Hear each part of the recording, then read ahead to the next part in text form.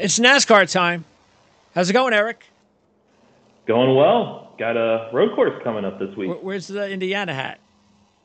Uh, yeah, not this week. not after the men's and women's kind of laid an egg. I mean, what's I mean, seriously, you, you had to go ahead and beat Kent State and then and then lose to Miami. Yeah, it's just probably one of the worst games they've played in a while. they just they almost looked like they didn't want to be there, to be honest with you. So they need another coach. Pretty frustrating. Yeah, they just baffling that they. I mean, it's basic basketball that Miami was doing to them, and you and you can't. Well, that's they were out coached. Yep. They got a better coach. So you switch coaches, Indiana moves on. So. Yeah, I mean, it didn't. It wouldn't take much to, not to downplay Miami, but it's like their tallest player was six seven. IU had three guys taller taller than him. I mean, it's pretty simple. They're doubling the pick and roll or the the pick. It could be worse. You could be a Purdue fan. Yeah, hey, that that made me happy Friday. yeah, that was. Yeah. Wow, that was. Yeah, that's not good. That was incredible. No. I did say this is NASCAR time. Yes, so, that's right. We are uh, NASCAR. Yeah, yeah but our own March Madness going there on. There is, yeah. there is Sweet 16 in a couple of days, and uh, we won't have our Sweet 16 until when does it start? Playoffs? Uh, I was going to say Labor Day week, uh, September. Oh, hey, I got it here. September. Our Sweet 16 starts September 3rd. All right, can't wait. Start of the NFL yeah. season. Yep. Yeah. Right. Leading in. Yep. So this is the sport though that carries us through the summer. Not baseball, NASCAR. And even though baseball's every day, but NASCAR is uh, still a little bit more exciting. Uh, yeah. And road course racing uh, can be exciting. And this is one of the better road course racetracks. And it's only been a couple years, but I mean, if you look at all uh, the way that they that they're able to kind of stay together pretty much and battle and and we, we had a great finish in this race last year. It was one of the best finishes we had all year in the sport. So, yeah, I mean, we, we definitely believe, or at least I know we've talked about it, maybe a little bit overkill on the road course race racetracks, but this is definitely one that's uh, so far so good. Yeah, and this was made as a pure road course, right? I mean, Indianapolis Motor Speedway in Charlotte, those weren't made for necessarily stock cars in mind. Um, and then you have some of the other ones are pretty narrow, but this track is a pure road course that was made for all sorts of road course racing, not just NASCAR. You had F1, IndyCar's been there. I think MotoGP's been there. So there's certain areas, yeah, it's, it's hard to pass in certain areas, but there's other areas where these cup cars can put on a good show, and we saw that last year. So I'm curious this year how will it look. I know they made some tweaks um, to the like the short track and the road course package has been updated. Naturally, we saw that in Phoenix, and I don't think it got any better there. So as long as it doesn't decrease the road course package, I'd be pleasantly surprised if uh, if it did, or not, or pleasantly surprised if it even helped better. Um, but if it just replicates what we saw last year, then that's a win. And, I think that's what we're after. Yeah, and, and and what is it? It's it's still the only thing we, we need we don't we won't know until this first race at least is whether or not Toyota has figured yeah. something out. Yeah, they were bad. Um, With the exception of Christopher last, Bell. Yeah, he was the only one. But, but, um, but shouldn't that prove something, though? Is that if Christopher Bell can do it, you know, I mean. But, yeah, in, in all fairness, too, he was third in this race last year, so I know we'll get more in details yeah. that were picked later. But his Roval win wasn't necessarily a win baseball pure speed. Sure. Remember, they he was he was sixth coming to that late race caution, and then they pit for tires, and then he had the call, couple cautions in the end that helped close the gap. Fresh tires, he won because of you that. Mean but, you mean you mean it was a win in NASCAR to a driver that really didn't deserve to win?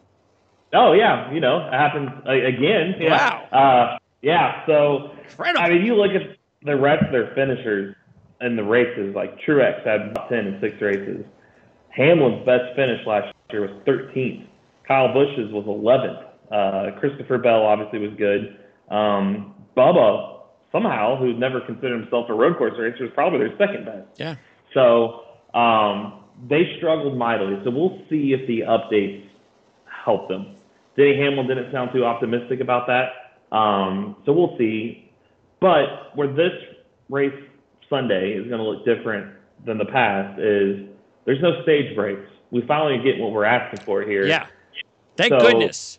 Because be that I, I was just watching a replay of the race uh, before, and I was going, "Oh yeah, that's right." I, it just slipped my mind because you, you saw Blaney, I think it was Blaney and Suarez at the top of the first stage, and then starting the second stage, they're not even on the on the board on the top No. twenty. Oh, that's right. I forgot. We got to deal with this again, but no, we don't. No, because that and that's a huge strategy play on road courses that it it took out and added a new layer because in the past you knew on road courses there was two built-in cautions for the stage breaks, and there's not typically a lot of cautions on a road course in general. Yeah. Um, so if you already knew where they were coming, and we've talked about this basically before every road course show last year, was the the guys that typically feel like they're going to have a shot at winning would just punt on stage points because you could pit with two laps to go in that stage and not be penalized, and you just come back out at the tail end of the lead lap. However, you all knew that the cars in front of you were going to pit at the stage break, and therefore you got the track position. Yeah. And then rinse, ga- rinse, wash, repeat, do it Yeah, again who, the next who wants stage. to win versus who wants the stage points? Yes, and that was the constant theme. This year, that's not an option anymore. They're going to have the stage points. They'll have the still, hey, this is lap. I I need to look at what lap it is, but here, stage is over. Here's the flag. However, keep going. Don't stop. The top ten will still get the points.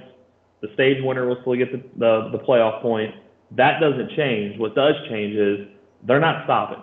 You just That's keep moving. Great move, great decision. This is why we have to applaud NASCAR whenever Yep. they make these types of moves because again, they don't make them as much as we'd like, but they do make them. I mean, they're not like baseball. Major League. I mean, now it's taken them what 100 years to finally make some uh, significant decisions that have changed the baseball, uh, which may uh, it sounds good to me. Put a clock Yeah. on things, yes, good, but Speed it uh, up, get going. yeah, but NASCAR does them a lot quicker, so that's uh, you got to applaud them for that. Yeah, and you got to think too. The other the drawback. Speaking of pitch clock in baseball, um, NASCAR road courses are so much bigger, and if you're under caution, it takes five, ten, fifteen minutes just to get around because you got to think. You got to you take the the flag, you got to come around slow. You come around, you catch the pace car, and then you come around and you let the lap the lead lap cars pit, and then you come back around and let the lap cars pit and then you got to regroup. Yeah, right. Then you got to do the two. So you're talking six caution laps just right there on a track that's three miles in length, like COTA is, and then Road America is four minutes. Those cautions are going 15, 20 minutes in length. Yeah. Now you're drastically cutting that out of the race because you may only have two cautions total for the day. Plus, it adds that pit strategy comes involved. And it happens a lot in IndyCar. And you call it the over undercut. Hey, I'm going to pit on lap 36, but I might stay out a lap or two longer, hoping I can get quicker lap times, clean air. I don't have anybody in front of me. I could pit and maybe come out ahead of you. Or the undercut. Hey, I'm getting slowed up in traffic. I'm going to pit now. And then I'm going to be towards the back because I pitted, but I'm going to have fresh tires where I can really close the gap. So you, you open up all kinds of different strategy plays that should make this race entertaining in that standpoint. Are, are they going to be? Are, uh, will the strategies also be similar to say Pocono, where we want to maybe we could pit twice instead of three times? You know that that crazy. Yeah. Can can they do that at this track? You can. You just start playing it backwards. So you say if you, this is the lap, um, this is the distance we're going to. Granted, you can't plan for overtimes or stuff, which road courses you don't get a lot of that um, overtime. So then you go, all right, well, how many laps can we get in a tank of fuel? Will the tires last that long? And if they do, well, we can go backwards. So we'll pit. If it's 90 laps and we get 30 laps under a set of uh, a can of fuel, then we know we pit at lap 70. All right, 30 more laps to be lap 40. Okay, there's 10 extra laps there. Do we need to save a bit somewhere to Yeah. gain and make this on? So yeah, you have that. You have the factor of maybe you pit, you run a longer stint, which means you burnt more fuel, which means you have to be on pit road longer for fuel versus somebody maybe pitting shorter, which means less fuel, means less time on pit road, clean air. You come out, and run faster lap time. So, So we could see that. yeah, I think you will. You will, I think okay. you're going to see all that. The only difference is that I caution, um, which we could segue into the TV talk, is is the TV going to accurately talk about this and strategize. That's a problem. Yeah, because you if you put any anything that is going to potentially force the drive the booth to think on their feet because they don't ever do any research, no, then it usually is a disaster because they don't pick up these things very quickly and they don't set us up properly like they should. It's, hey, No. why don't you guys do do your job? Just like again, I don't know what they do. I, I I know what the NFL does. I know that they bring the head coach in, they're bringing the coordinators in. They have meetings with the with the host of the uh, the, the play-by-play guy, and they sit there and they ask questions so they can prepare themselves for the show, for the game. I'm assuming they're not doing this in NASCAR.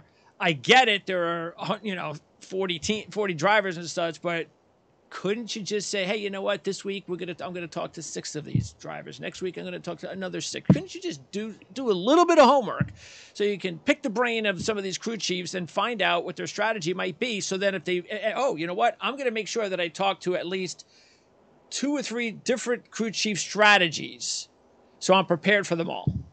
Yep. You would hope because I like Larry McReynolds. I think he does a good job. He should be at the track, not in the North Carolina studio. Um, but he hasn't been a crew chief in the Cup Series in decades. You got to have somebody, and honestly, they won't do it because I know they got their war room. But the Hendrick guys that are suspended, hey, maybe bring them in and talk to them, and maybe Yeah. have them be an analyst and like, hey, since you're not here, can we maybe use you for the broadcast? Yeah, but where was Because- Chase last week?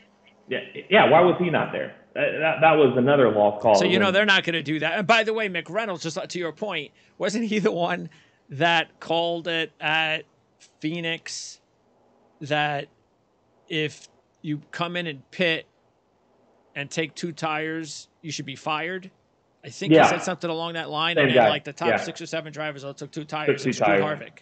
Yeah, It's like, So wait a it- second. it- I thought you said that they that would be like a disastrous decision to take two tires. Apparently not.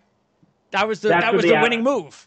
Yes, and that's where the out of touchness comes in play. It's like you need somebody recent that knows the next gen car, that knows the strategy, because it's going to be so. If you don't cover the strategy angle, then you this race could look boring to people because they're not going to be as much on top of each other because you don't have the cautions to bunch them up. But you might have a guy, as I said, like he's sitting in third place, but he's getting held up by the second place car or even heaven forbid a lap car. And they're like, you know what, we're losing lap time to the leader. So maybe let's duck in a few laps early.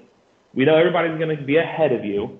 And then they also have to pit. But if you're running lap times now faster by yourself, and then the leader pits and comes out in the middle of lap traffic or in the back, well, your lap times are quicker, and now you're ahead of them by not passing them on track. And that's the strategy that you're going to see. But if they don't portray it to you, it doesn't. You, how are you going to know what's going on? Yep. And that's the fact. And then plus, I, honestly, too, Fox their coverage has been horrid this year. All the commercials. I think Mike Joy, I like him, but him calling out race fans on the TV broadcast doesn't help. That keyboard warriors he calls them, it's like it's insufferable. It's like just admit you guys are wrong. You're calling the tracks the wrong name. You don't accurately portray what's going on. You're not animated. You watch an F1 broadcast. I think Denny Hamlin said this on a uh, podcast. They're all animated. They're IndyCar races. They're excitement, and it's you, listen to the radio broadcast. Let's just say that's the pass behind me. Ryan Blaney's on the inside. He's at like, and then the pod. Oh well, Ryan Blaney's going to look to the inside of turn one, and it looks like he. And let's let's play the graph of a cartoon character of him on the screen. It's just like it's terrible. It's just like you're just watching. Just can they get a pulse in there? Can we do something? It just Yeah, It's there needs to be a, cro- a go between. You don't have to be like radio, but you got to. Yeah, you do have to bring that energy in some way, shape, or form. And again, they just don't. there's no energy. They're calling out fans. It's it's almost like it's like, are you purposely trying to not get a future contract with NASCAR or what? Because this is this has been putrid. And you look at the ratings, they're just nose diving every week. And granted, some of that is that Chase Elliott effect, like I talked about. Um, I think it's a big reason. We talked about that again. By the way, what week, was the percentage down Another in Atlanta? yeah, another fifteen percent. It was 15%. Yeah. Um, so you again, it's another down, and it's like so you have the Chase Elliott effect. You have the broadcast. It's just Well, just imagine very if you would have promoted. Hey, by the way, Chase Elliott's going to sit in with us uh, for whatever, and you don't even have to tell him for how long. Just say Chase Elliott's going to sit in with us. I mean, right there, and you don't put him on early. Put them on in the middle of the race, towards the end, even. Make sure that you don't even you, you could just hey, I don't. When is he going to be on? Well, you got to wait and see. And all of a sudden, here's Chase Elliott mid mid race, end of, towards the end of the race. And how's that not bringing viewership up? Yep, and it's the 21st century. We've seen it in the past. Um, I've seen it in rain delays where drivers are in their buses yeah. and they're interviewing them on TV. Even though Chase Elliott wasn't at the track, he he was tweeting about the race. Could you not get him on like a Skype or a Zoom call and like, hey, in midway report, uh, you can even tease it like, hey, Chase Elliott's going to give us, uh, he's going to talk about his uh, his incident, his injury, how he's feeling today. Uh, just we'll get his thoughts, and that would get people to tune in. His fans to tune in, but if you don't even promote it, and granted he wasn't even there, didn't even, I don't even know if it's a discussion to have him on, but I feel like they missed the boat. I mean, and yeah, it, that would help close some of your ratings gaps, but now it's he's it just it's baffling. Yeah, but we'll well, they're yeah they're in they're in trouble now, and I don't think it's going to change. Yeah. I, I, don't see it changing. So you give people a reason not to tune in, they're not going to come back. And if you have another bad, granted, this race this weekend, you got so much international star power, you should get some extra viewership. But what are you going to do to keep them? What are you going to do to paint the picture? Because Kimi Raikkonen's there, uh, Conor Daly from IndyCar is coming, um, Jenson Button from F1's there. Uh, Jimmie Johnson, Grant, that's more organic. He, he's more local, but those race fans know road course strategy. they'd understand. So they're going to watch this broadcast and be like, this is completely dull. These guys don't get excited. They're not telling me anything about strategy. Yeah. I just, if, if they don't capitalize, it's, it's another loss. So well, they won't. You hope they find something, but no, I, I would say for those watching this broadcast or this show, watch the strategy even if they don't paint the picture, watch the strategy. It's going to be when they pit, there's a called an over, overcut and an undercut. That's you're trying to do that for the driver. Undercut meaning you pit before them. Overcut meaning you stay out. So you're going to have that. Some guys, again, they might take two tires in the end, or they might have run a stint longer and like, hey, we're going to save fuel, run this longer, cut a pit stop out, and then at the end we could take a splash and go, and we're on pit road the least amount of time than that one. And now we're in the lead. Can we hold them off? So it's going to be a pure race. Just but imagine too, actually, if you you know how they always used to in the old days for baseball fans, diehard fans used to go to the games in the stadium and they used to have their their notebooks and they would yep. follow the you know E three and all sorts yeah. of you know really you have to kind of nerdy kind of way to follow it, but just imagine how you could kind of do that for this sport in a race like this, where you can yep. get the fans engaged somehow, where you're you're you're you're getting them. To, maybe you're even putting like some sort of uh, like your own notebook. Hey, print this out on our yeah. website, and we're going to show you how to follow the different when the different cars pit with the different strategies. We're gonna we're, we're gonna have someone maybe even live on the website that is going to show you how to how to correctly follow each specific strategy. And then you could decide for yourself as, as you're as you're trying to figure it out well who do you think is who do you think's got the the you know the, the better path to victory based on strategy? So there's just so many things they could do it's driving me crazy. I should just call them up and ask for a job.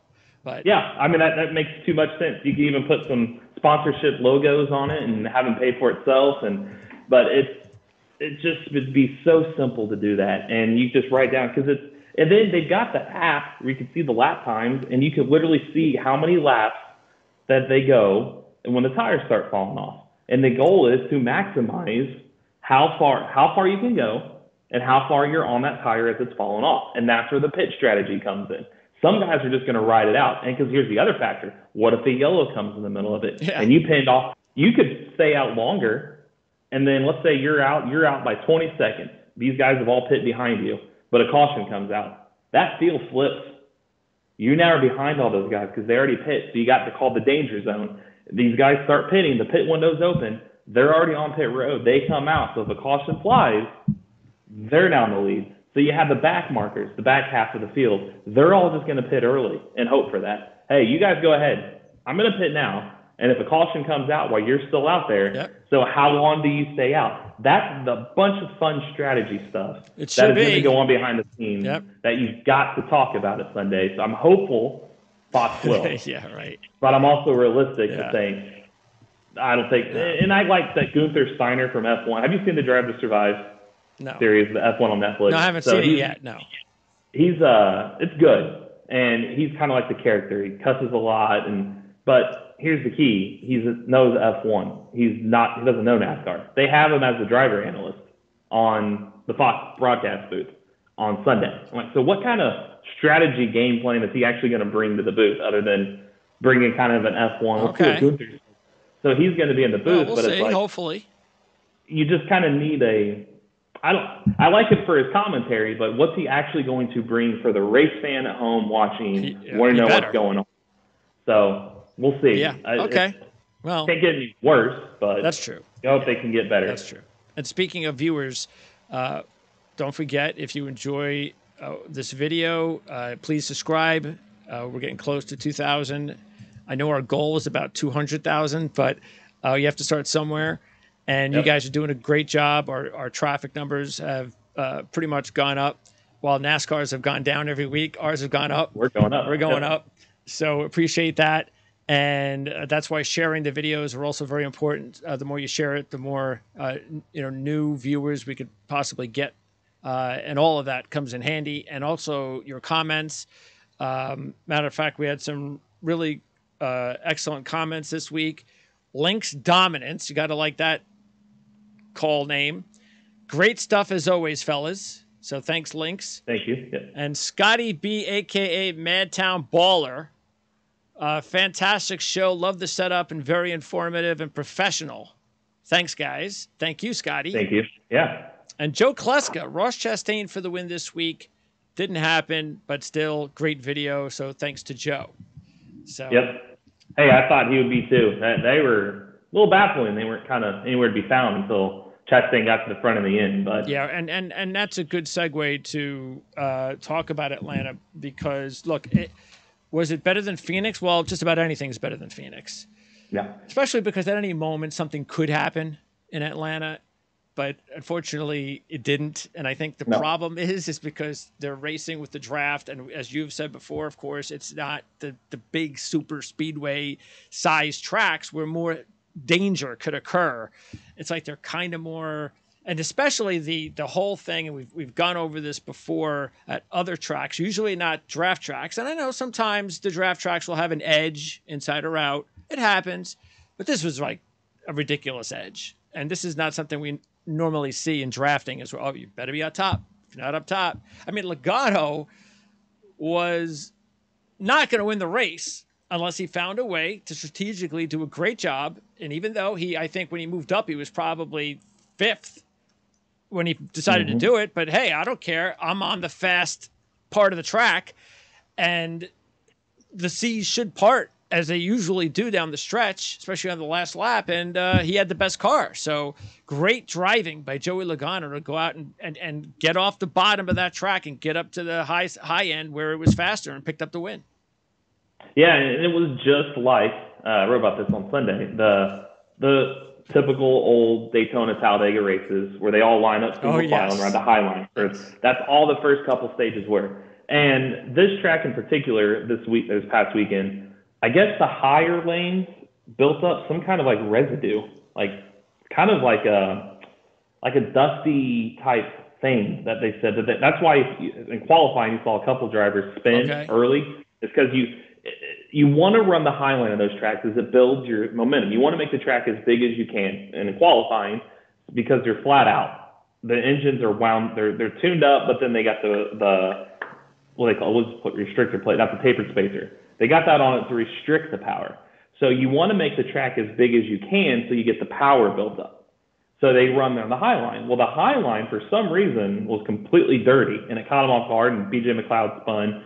And then so the earlier qualifiers were having to slowly work their way up to start building more and more of that uh, dust off and more tire rubber in.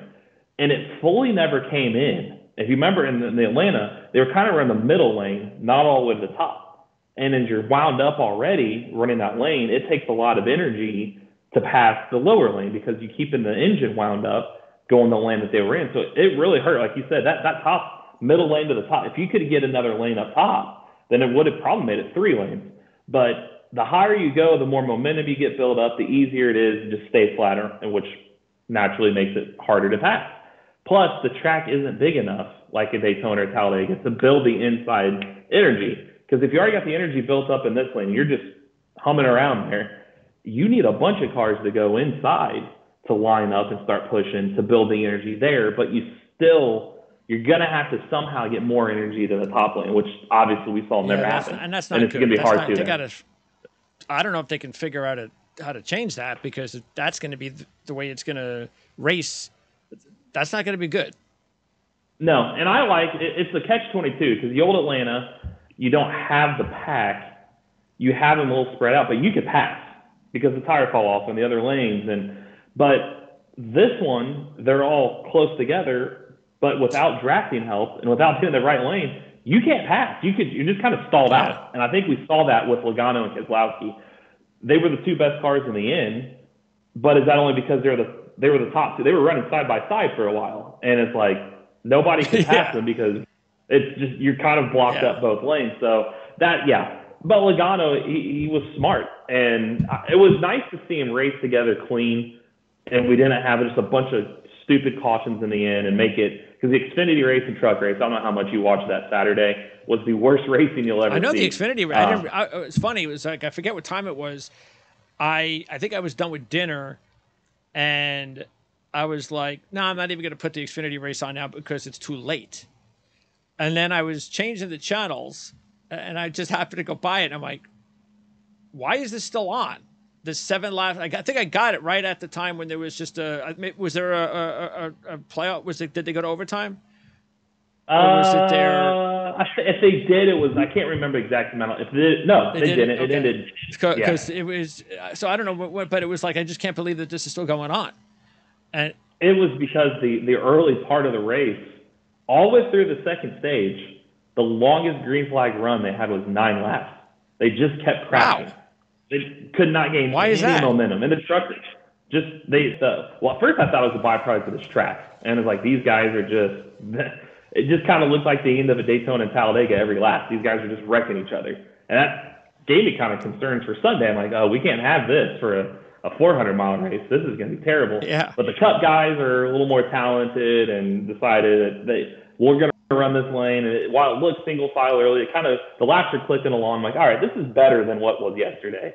Um, so I'm glad that didn't happen at the end of the, the Cup race. They ran each other clean, but as you said, Logano, he was stuck in the, the inside lane with a few to go. He got behind because, like, well, I guess I better get behind him and, and draft for him for a little bit. And what ended up happening was the top lane, uh, Bell, Hamlin, and um, I don't know why it's escaping me. There's three Toyota drivers running up top. And Bell, and he mentioned this, and we talked about this, even about Larson. He's not typically up front on super speedway races. And he's like, I oh Reddick, Reddick was it. It was Bell, Reddick, and Hamlin. Uh, he's like, I just didn't make a good enough move. He should they should have been more aggressive to three because they ended up Keselowski got too far out front and they had the outside lane if they wanted it, but they kind of broke apart, didn't push each other right, and then Logano was noticing they weren't working well together. So he used the energy from the inside when Keselowski noticed he was kind of going back and forth, like he was controlling both lanes. And so Logano knowing his moves by being a former teammate, Logano's spotter used to be Keselowski's spotter, and Keselowski's spotter used to be Logano's spotter. Okay. They kind of knew each other's moves and what each other were thinking going into it. So that's where your, your point was right. Logano just made a hell of a move and a hell of a decision to let me ride back. He knew that I'm going to make, a move on the last lap. Either going to work or we're going to wreck. And Keselowski being respectful, knowing he could have blocked the move and wrecked everybody, but he didn't. So Logano lagged back, knowing the Toyotas, they didn't have a rhyme good enough to get up top. So he lagged back, got that draft, got a push from behind, and bolted outside to where Keselowski couldn't block at the last minute. And then Bell ended up finally catching up on Logano in the in the slipstream and gave him that push on the backstretch, and that was enough to Oh yeah. Once that happened, it was over. Yeah. So that that that was fun racing in the end. I wish we could have saw it longer, Yeah. but at least it was clean. At least it to me it was better than last year. There, at least it was an improvement um, compared to last year's show. I think both races were nearly four hours in length. This one was a lot better. So um, I like it. Is it the end all be all there? I hope not, because I kind of like it when the tires fall off a little more and you can see some more passing. It still was better, and it was Yeah. better as you said in Phoenix. So we'll see if this week can can provide. Because out of all the road courses last year, and out of them, most of them weren't great. This was the best one. Yes. So hopefully, hopefully it doesn't get ruined. Uh, before we get into the race this week, a couple of uh, things we want to wrap up from last week that we talked about, and and that and that's definitely the penalties. That was the big story because we record this show about two Eastern uh, every Tuesday, so it gets uh, out to the to your viewers uh, usually no later than five o'clock. And the news came out not too much longer than that, and and pretty much everything that you said could happen, the worst case scenario that could happen to Hendrick and Hamlin, but especially Hendrick Motorsports happened. Yep. And, and not that it was a surprise because as we were going back and forth, th- there was no other recourse. They, they, they had to they had to put the hammer down, and so and then it's so funny when you when when you know you got to do that double take when you when you when you're going over your research, you know like I like like we do on on on Monday, and you're looking over at this driver standings, and you go, well, where the hell is Larson? Where all the Hendrick guys Yeah, like, yeah. what the, oh, that's right, I forgot.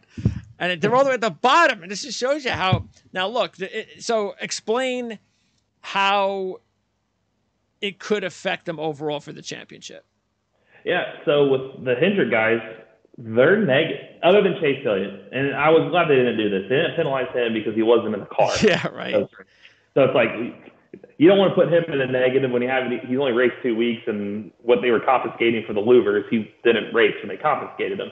Um, so they kept him out of it. Since Josh Berry's in and around. they're like, well, we're not going to penalize him because he's scoring points in the Xfinity Series. He's not even eligible for Cup points. So the nine car was kind of given a grace, but the others, it's a hundred point penalty. So you got to think of what they already had, and you take a hundred points off of it. And for somebody like Justin Haley, who colleague had a similar penalty, he's neg- he was negative sixty or negative forty points entering last week's race. Yeah, he's So negative gotta think of- 25. yeah, negative 25 now. So think of how you got to climb out of that. So in order to point your way in, we saw one guy get to do that last year was Ryan Blaney. You he was what fourth, third, fourth in the points, I think, and he was points his way in. Truex barely missed and I think he was fifth at the regular season Okay. in their point standing. When you have that big of a penalty, you're not making it back up there. There's just no way you're going to make up that Unless many you points win. so you've got to win. Um, so, but even get back to the point, the top 10 in the regular season at Daytona, when it ends, we're going to the playoffs, the top 10 in points get additional playoff points. So your regular season champion, which Chase Elliott was last year, you get 15 playoff points, 15 extra. Second place gets 10. Nah, third place gets nine, and so on. So what happens is this also pretty much ruins them from getting any extra playoff points. I don't see how any of these guys with that big of a penalty is going to get much into the top 10, if at all. It's just going to be nearly impossible. Okay. So you're not getting extra playoff points. On top of that, you already got playoff points taken away. So you got 10 points taken away playoff wise, which is the equivalent to two race wins. So basically, William Byron's two race wins didn't happen. They took the 10 playoff points away. So playoff points you carry with you through every round of the playoffs. So if you have 20 of them going to the postseason, you're going to have 20, and unless you accumulate more, all so you get through the first round, that 20 starts off the second round with it. it so these guys are going to have very minimal playoff points because you got to think how hard they are to get. Five for a race win, one for a stage win, and that's that's it. So if these guys aren't winning races or winning stages, it's going to be a lot for them to move through these rounds of playoffs. It's going to basically put them in a box where you've got to win, and it, it, this could hurt Byron. And I could I should preface this too. Yes, the two wins are basically taken away for playoff points wise, but they leave him alone for postseason eligibility. So he's he's already in. That's not going to be a problem. He just doesn't have those playoff points. And I think he had three stage wins, so his playoff points are down to three instead of 13. Or somebody like Kyle Larson had, or I'll use Alex Bowman. I don't think he's got a stage win all season. Who's that? Uh, Alex Bowman. No. Oh, So he, yeah, he's- he's, he's at yeah, he's at minus ten, So there you go. So and got Larson is at minus nine. There, there you go. Minus 10, minus, yeah, because Larson has one stage win. So for those two, it's going to take two race wins to even just to just break even, and then it's going to take a third race win to get positive. All the meanwhile, let's just say I'll just use Ryan Blaney. Um, let's say he wins three races. That's 15 playoff points he's already going to have, and it's going to take those guys three races just to get to the positive side of it. Um, okay, so so, so how would it look like? Let's say, let's just go with. Um, best case scenario for Larson. I mean, Bowman is actually not in bad shape. He's sitting 20th in points, and that's that's fine. I mean, I actually don't think that's bad for where he's at, except of course the playoff stuff. But talk about Bowman, Byron, Larson, Elliott. Talk about what's the best case scenario for them, and meaning not just how they could start the playoffs, but what would they have to do in order to win a championship.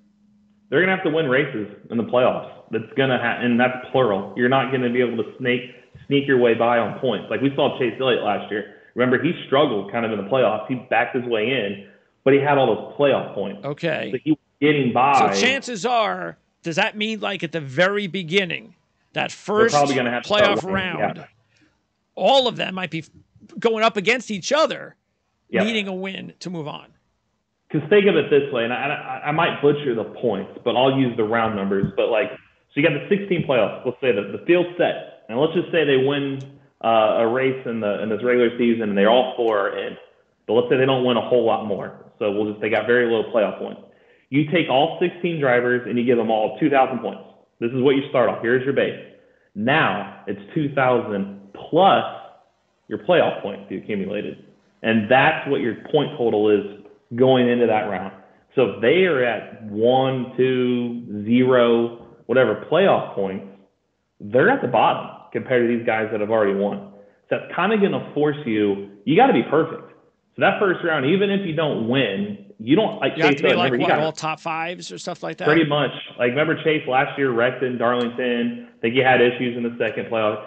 It takes your. You got to basically be perfect. And that's not and just in, in the first round, but you basically have got to Every round all on. the way through. Yeah, because the next round they bump it up, I think, to 3,000 points. The same way. Out of the 12 drivers left, it's 3,000 plus your playoff points. So really, that's why for them, this didn't only hurt them short term; it's going to hurt them long term. This is best case scenario. This is best case scenario. Yeah, because you've got to win. Now, the easiest way to move on to the next round is win. win. Yeah. But we've seen how hard that yes. is with all this parity. It's basically saying you got to win. can't do it, but it's still going to be kind of hard to do. Yeah, and then you factor in the negative playoff points right now in the regular season to get out of it. They're not going to have the luxury of even those bonus points that other teams are going to get for the the playoff points in the regular season. So they're they're in trouble. Uh, it, it's going to hurt them long run too, unless it's depending the outcome of this appeal, and that's where the whole thing is going to get. Um, it really is going to open Pandora's box because Hendrick's side is we did this didn't gain an advantage. We didn't do yeah. this to gain anything. And NASCAR's like, well, you can't, you, you altered a part. And Hendrick's like, well, the part was defective. It, it didn't fit. So let's say the appeals, because three times last year, NASCAR lost the appeal. They went in favor of the teams and the drivers. So let's just say that they NASCAR loses this appeal every other crew chief in this garage is watching this because they're going to say, at what point does like, well, I'm going to unbox this. Here's a stock part. We know it can fit, but it doesn't fit. Let's manipulate it to fit so that you opens the gray area back up. So I'm curious how this is going to play out. I certainly hope NASCAR does a good job uh, explaining their position. So because that's the key. If they lose, it's going to have to take some new wording in the rule book, which won't change this year um, with this. Because even the Hamlin thing, he admitted that he did it on purpose. But according to the the wording in the rule book, NASCAR came out and said too much. I think on this uh, satellite radio show with him saying, "Hey, we probably wouldn't have penal we we didn't penalize him in real time because we thought it was a racing deal." But he admitted, and that's actions detrimental to the sport or whatever. And Hamlin's basically saying, but prove that I, I didn't manipulate an event. I was going backwards. If you did, if I don't say anything, which it doesn't say that in the rule book, then you you penalize." So it's NASCAR could have a lot of writing to do here in the rule book, but that's why everybody's watching this appeals process now. Is what's the result? So you got that, and then you got the Josh Williams penalty. Uh, should be announced some point today. But the Hamlin penalty was just uh, money, correct? Uh, he lost driver points too. I forget. I don't have it exactly in front. No, not much. But again, it, it, it could affect his, his standing and and the points yeah. going in the long run. So all right. So um, but but and and you look now. Not that Vegas, because we've seen them make some mistakes before yeah. with odds in NASCAR. So when you have Larson at eight to one, Byron at eight to one, Elliott still at ten to one. Now Bowman is is is for whatever reason at thirty to one. I'm not getting it, but no. Larson, Elliott, and Byron at where they're at right now. Why would you put any? Why would you? Why would anybody put any money on them right now? There's no reason to because you don't know what it's going to. Especially now with the penalties. Let's wait for the outcome. Yes. Because if this gets upheld, then they're going to far fall. They should fall much further back. There'd be absolutely no reason. They should fall at least back to like 15 minimum. Yeah, they should, whether they will or not. Yeah, because their long their runway's a lot longer now than it is the other way. So yeah, it's there's no reason to take okay. them right now. Yeah, that's uh yeah. I don't I don't get that, but hey, that's you got to take advantage of it. To, uh, uh, Harvick is still 14 to one. Yeah, and that's bad. He, he, who knows? Maybe he wins the damn race if he doesn't get. Uh, you know, if, if the uh, and I'm not going to blame Chastain because it's just one of those drafting deals. Imagine if that was Denny Hamlin. Oh, second week that that would have been that would have been interesting. Too cool in a way yes. to like see what would have happened. I'm not sure Denny. I'm not sure. I, I think uh, you probably have been waiting for Chastain at the end of the race. But oh yeah, he wasn't making out of there without another confrontation. No. So, but it was Harvick, and again, it was it was what it was. It was just a drafting deal. So, uh, and then the other thing we talked about was the the start, the restart zone. Yep. So, uh, what is the final verdict on that? They're going to go back to what it was last year. They thought that it really didn't make of a difference one way or the other. Fontana kind of probably was an anomaly um, with the wrecks, but they thought the gather the data that we saw, it's not changing much, and it, Fontana showed that it could create issues. So let's just go back. Let's just go back the way it was. It didn't hurt anything. So most drivers seem okay with it. That's what they wanted anyway. So, uh, um, which is one of the things that we talked about last week. That was one of the things I was watching was how does that restart zone was it look because they could change it and they announced today that they will change it back. Okay. All right, so uh, now we can kind of move on. Now uh, you're still kicking ass in fantasy, by the way. You got your yeah. first win. Finally, yeah. As much points as I was leading by, sometime got to get a win. Yeah, right. so, there we go. And, yeah. and, and you got the win, so that was big with Logano getting it done, and even Keselowski ended up with second place. Yep. Uh, so you got 60 points there, so that's a bonus because he's he's your last driver, right? Yeah, he was my uh, he was my last pick. Yeah. So yeah, that's been a big one. That's been a big help. And uh, and then across the board, really, uh, CJ started to lose some momentum. Uh, I might catch him soon if if because uh, he had Byron going for a couple of wins, but yep, you know you gotta gotta see what happens there with Byron because Truex still has not taken off yet. Really, Hamlin, Bell's the only one uh, that is really making any sort of major move so far, and you have him. So, yep. and of course you have Bowman too, who yeah, he, it, was my bottom drivers, which was my process last year, is trying to fill out the top 15, top 20 kind of. And Keselowski's improved. Suarez was my second to last pick, and he had three top tens right in a row to start the season off. Wallace has been top 20 driver that I needed him to be. He's had a few mistakes oh, here yeah. and there. Bowman was overachieving. I mean, he had a, until last week he had a top ten every race. Harvick was looking what we thought he can do, so he was my he was my fourth pick. Um, and then Bell, Hamlin, Logano are doing. Hamlin, you could tell he's got some room for improvement. Oh yeah, and it's a matter of time. Yeah, it's again because it's Hamlin. We know he could turn it around, and Logano got the win, and we we've seen what he can do. So yeah, it's it's kind of gone exactly to plan what I was hoping it would do. Well, I I expect because if you really look at it, I have a really good road course team.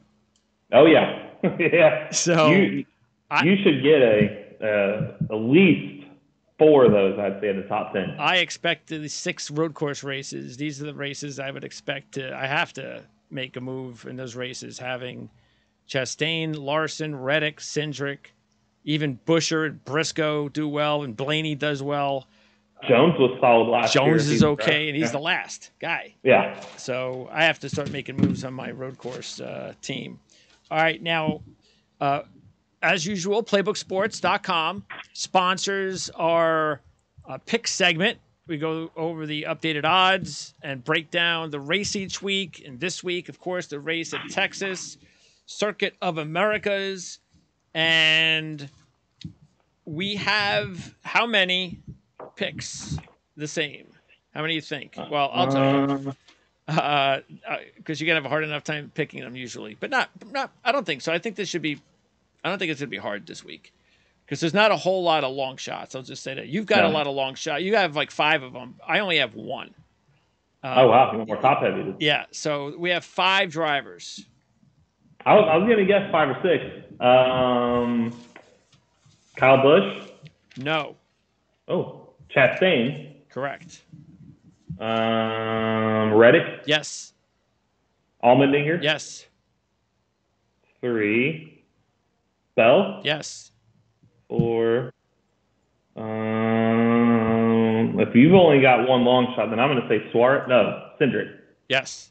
Okay. There you go. There you go. See, I didn't think it was gonna be that difficult, and there it is. Yeah, uh, we neither one of us went with Larson. And look, for me, it was either I had I, I had to take two out of the four. I, I couldn't take three out of the four favorites, especially going with Larson at six to one. That is Yeah. what I was trying to figure out because he's he, he should be a obvious good pick this week, but six to one was just you know what if I'm going to take two of the four, I can't take the favorite with with, with those odds. Um, when I think Chastain and Reddick, the two drivers I took, were are just as good. I- Yeah. I, mean the only thing I am concerned with Reddick, of course, is the is the is the change. The team that is Yeah. the one thing I am concerned with, but he's starting to race better.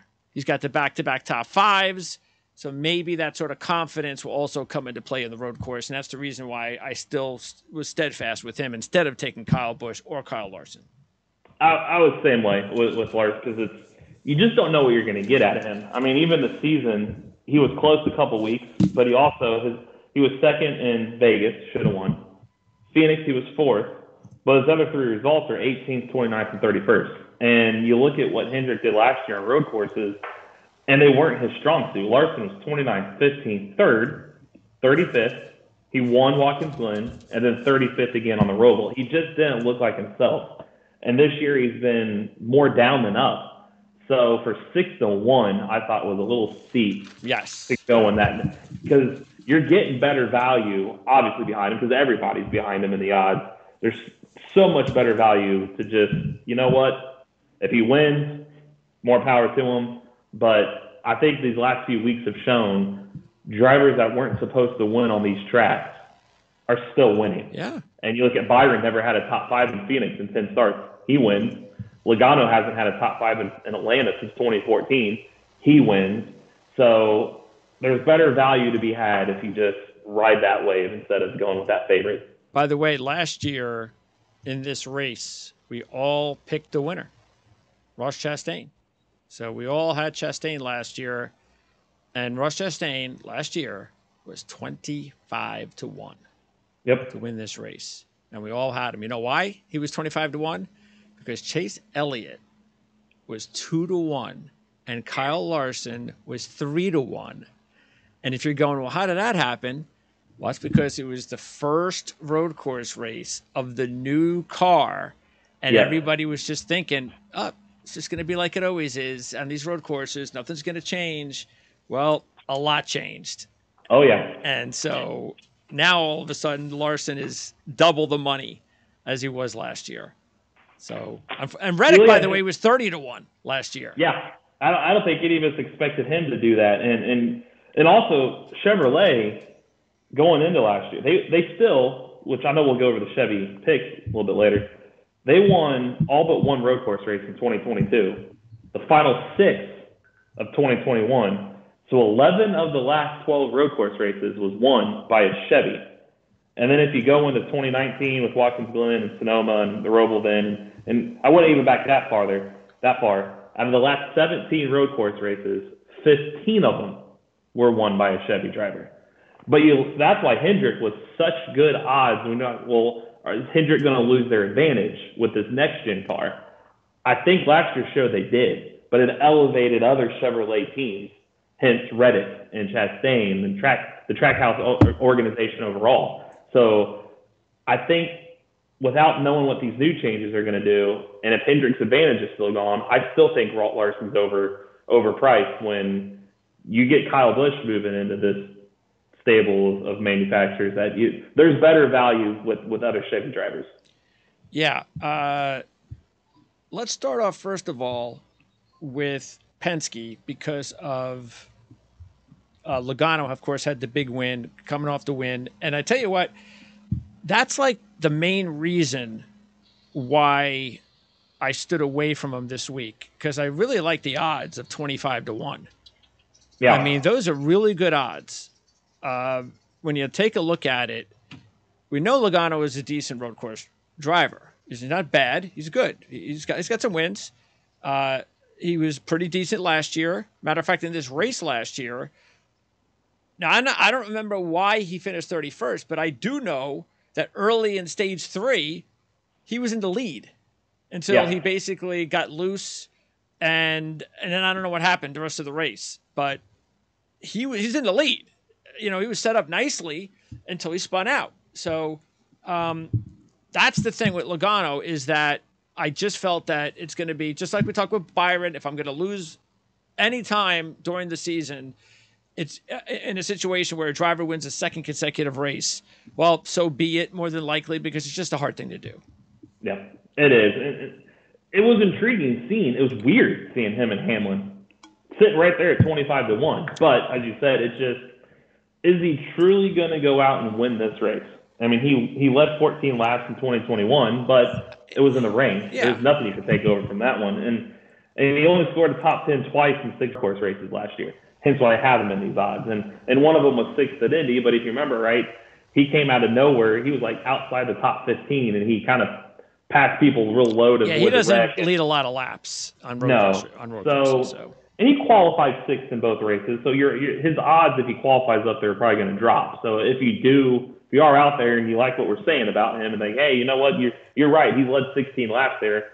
Take him now because if you with him qualifying sixth both races last year, and Cindric was third, um, qualified in 2021. I think Blaney, I'll have it here. Yeah, he was on the pole yeah, last year. Yeah. So Penske could qualify good. It's just they don't typically finish good on road courses. Um, by the way, why were there there were less uh, laps the first year compared to last the year? Rain.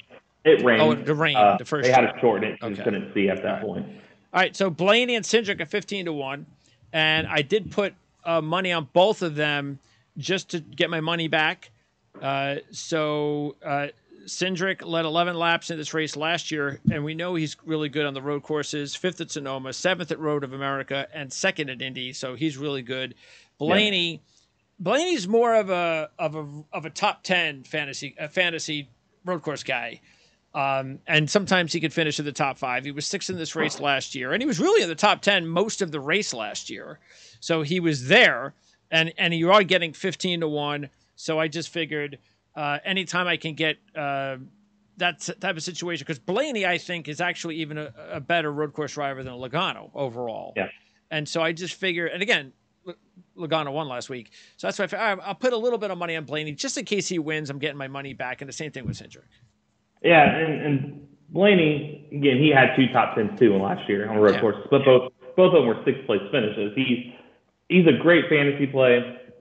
Fifteen to one again, as I said, he, he was on the pole last year, so he was ninth, qualified ninth in 2021. So or maybe 2021 they might have started based on points. I don't know if they were qualifying at that point yet, but Last year they were. He was on the pole, so that could always drop. However, which race did he win? On. Blaney? Yeah, road course. Uh, the Roval, Charlotte Roval. Okay. Yep. And I have a, a article up right now um, uh, about the top road course racers in NASCAR. um, even in the past and today, there's a chart and it shows all the active drivers and all the road courses and Okay. where they've won at. So uh, it's up right now on the site. So if you guys want to take yeah, a we'll look put a link then on the description area as, as, as we normally do uh, for reports like that, so you can check it out. All right. So and then um, Burton did get a top five at Indianapolis, but that's about it. It's so far been a disappointing start once again uh, for uh, Burton. He's not going to survive past this season, correct? If he doesn't improve. I think he's got to do something because they're just out to lunch, and he's not starting good. He's not um, finishing good. I mean, his starts this year were 19th, 24th, 35th, 27th, 33rd. And then you look at his finishes 26th, 15th, 26th, 35th, 34th. It's, What's the difference between talent when when you looked at Burton in the Xfinity series and you saw him race compared to Cindric, compared to guys like that? Uh, did did you think that he was on par, or did you think he was a notch below? Uh, I thought he was on par, and I, I still think he's got talent. I don't know. It's odd because this is a satellite team of Penske. Yeah. So is this a, a Suedo fourth Penske car, or there's some things that the Wood brothers, who are a smaller organization, developing on that there's a difference. That's that's what I really want to find out is how much is the car similar or dissimilar to the three Penskes. If it's very similar, then that doesn't bode well for him at all Yeah, because the Penske guys we've seen consistently up front more times than not, and he's nowhere to be found. And that Indy finish was because remember everybody was taking themselves out in the race, and he just yeah, happened to be there in the end. So um, even at 200 to one, Yeah, I no, just don't think he's got a shot. uh, and uh, RFK Keselowski. It's hard to tell what to think, but overall, he's never really been that great of a road course driver anyway. No. But Buescher, who's thirty to one, that's different. Now, I was trying. Look, it, it, in, in all honesty, looking at this race, going over everything, there are there are a lot of options. There really Oh are. yeah, And this is again, if anybody wants to put a couple of bucks on Logano at twenty five to one, Buescher's the same way. I mean, you were the only one to put money on Buescher. I just couldn't find a way to put money on him, but I wanted to because you're getting thirty to one. The only reason that I decided, my only excuse, was that he didn't finish well here last year. But that's it because we know he's pretty good in these road course races. he is. And, and I looked at last year. I thought the same thing. I said, well, that was the first race. What do you do the other road course races? Because it's about learning. They haven't done the left and right turns and the sequential shifter and all that. I get that. Um, second in Sonoma, sixth in Road America, tenth at Indy, ninth at Watkins Glen, sixth on the Roval. Yeah. All top ten. Yeah. And you look at what Keselowski finished last week, and you just feel like this organization, you just feel this momentum building with them. And with 30 to 1, same odds. Uh, mind you, him and Keselowski, they're, the odds makers are finally putting respect towards Buescher now. Because it used to be because Keselowski was up here and Buescher's odds Yeah. were like 60 to 1. Yeah. They're both 30 to 1. I don't know if that's a byproduct of Buescher and because being good here and Keselowski not or what, but he's a great value where Keselowski 2021 season. He was fifth on the Daytona Roval, which is completely different. And then you go to his other road course finishes 19th, 15th, 13th, 35th, 24th, and 20th. Last year, 14th, 10th, 33rd, 20th, 19th, 14th. Yeah. He's just not. No. It just it didn't merit him for 30 to one. But Buescher, to me, is one of the top sleeper plays at 30 to one and top 10 finish every week uh, on not every week, every weekend on road courses. He was there. So we've seen this these seasons crazy before, and now that strategy plays are open, you never know that what could happen. So that's why I went with a couple long shots. Just you get a fluke caution in the end, and these guys already pitted, and they're now flipped the field. He's got the speed, so um, we'll see what he can do. He qualified 22nd and 28th in his two Roval or uh, Roval COTA starts. So um, Who's that? We'll see. Buescher? Buescher, So Really? those Uh, odds he, he had those are pretty bad qualifying start, starting positions then. So if he qualifies well, watch out. yeah, exactly. So right. something to watch. Uh, and and look, my first strategy when I was going over the picks, I started to notice that I was doing a lot of almost what CJ normally does, and I was like, but that's not me. I'm not going to be content just breaking even. You know, Nah. going like nine picks and uh, and whoever wins, I'm breaking even. So that's the reason why I dropped Bowman. I, I was thinking of Logano. I dropped Buescher. I dropped Harvick. So I dropped, and I was thinking of Larson. So there were guys that I was trying to get in there, and I just said, nah, I'm going to double it up with five or six drivers, and I'd eliminated guys like Buescher. But I, I completely think that if you're out there, because I'm gonna I'm gonna put money on him. So I think you should put money on him too. You should, and, and the only reason why I went even longer too, just a little less money made this week is when is these last two weeks with the winners that none of us saw coming. Like I don't want to lose another hundred. Yeah. I just can I at least get a, a little bit of momentum and a little bit of a profit to start. Yeah, you went that strategy. Yeah. Yeah, I, I want to start hitting some singles here. I just I want to get on base. Yeah. and then I'll start swinging for home runs. Yeah. But I just want to get on base, so that's why Yeah, I Kyle felt like- Larson will lead like 40 laps and win the race. Then I'll, and then, I- he was one of the top ones I went away from. but then Uh, again, we have all of us haven't been winning because CJ. So that would mean, let's see, who would it be? Logano would win. yeah. So Logano would be the one that would win. We wouldn't. We'd all lose again. We don't capitalize. Yep. So, So, and I'm you should kicking pick myself Logano for him at 20. Well, usually when he is, my strategy is to pick him. Remember Bristol Dirt two years ago? I He was actually surprised when I was going over the the the the, the, the results. I was like, nobody picked him. I, I know I, almost- didn't, but I was like, no, I thought one of you guys picked him. I, I was like, we on my- all didn't pick him. Well, he was on my fade list before the le- the the list came out, and I'm like, well, he's on my fade list for a reason. But then my brain went, it, it doesn't go with my strategy. Usually, is if he's these odds, I take him. All because that Bristol dirt race when he was 33 to one, and he had no dirt experience, and I just threw ten dollars his way, and he won. Like, you got to go with him in these odds. You never know what you're going to get out of him, and 25 to one just kind of seems like he's back there again. Yeah, but he did it again when he finished third here, the first race. Yeah, He was doing exactly that. He didn't win, but he he, he came close to winning. So he, he that's that's why he is a really good play in those types of situations where nobody's really been there before. Yep. And uh, and and because of that, his odds are a little bit better. But unfortunately, I don't think we have one of those races this year, do we? Nothing uh, new yeah. this year. No, the Chicago street race. Oh, okay. So we'll take Now that I Log- we'll take Logano then. Yeah, got to take. He's, he's the inaugural race king. He'll, so he'll he- be on our list. Yes. Yeah, got to take him. Uh, Stewart-Haas and let's see, you and I both took Briscoe, and like I said, I was I was I almost took Harvick. And the only reason I almost took Harvick is I just again I just feel like he's sniffing around even even last week being in first place in a position where it looked like well wait a second I thought he this wasn't a good situation for. I thought historically, same thing. You know, he's he's okay. He had a couple top fives last year. He's runner up at the Roval, Yeah, eleventh here in this race, thirty to one. Well, we know he he's done a lot of stuff this year that we didn't expect him to do. So yeah, all right. I'll, I'll maybe this is the week with thirty to one. Maybe he will find a way to win a race because one of these drivers could end up like Bowman last Yeah. year. That, that could be Blaney. That could be Harvick. That you know one of those like we're, we're pretty good at this, but we're not supposed to win. But somehow we find our way up there and the C's part, and we have a chance to win it.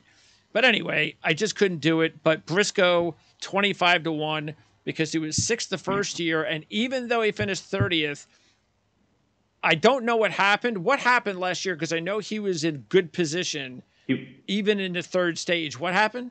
He was run. He's either spun or run off track on that final restart. He was up in the top five. He was battling for the win. Okay. So he would have had another top five. And I, So he was one of those guys that got I think up. Kyle got him. I can't remember. Kyle Busch or somebody I- wasn't on purpose, but I think they just hit a, a, a part of the track where two cars weren't going to make it through, and I think he was just the odd man out, or he got spun into it, or or something. But he was up front. He's a pretty good road racer, so Yeah. I went with him for that. At Yeah. twenty five to one, like plus.